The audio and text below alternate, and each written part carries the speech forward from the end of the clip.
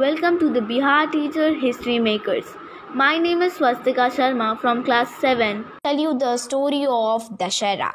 Dussehra, also called Vijay Dashmi or Bijoy in Bengal, is the culmination of nine day Navratri celebrations. It is a festival that marks the killing of Ravan, his son Meghnath, and brother Kumkaran by Ram. It is seen as the victory of good over evil. So here the story starts. Ram, Sita, and Lakshman are exiled into a forest. One day, Sita sees a golden deer and asks Ram to catch it for her. The deer was the demon Marich who tricks Ram and Lakshman into leaving Sita. Ram and Lakshman gone, Ravan, in the disguise of a saint, asks Sita for alms. He abducts her and takes her to Lanka.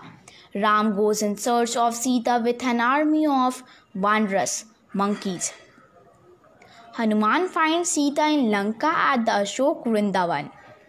The Vanras, led by Ram, reach Lanka and a battle ensues. Since Ravan could not be killed by any ordinary weapon, Ram prays to Durga for guidance.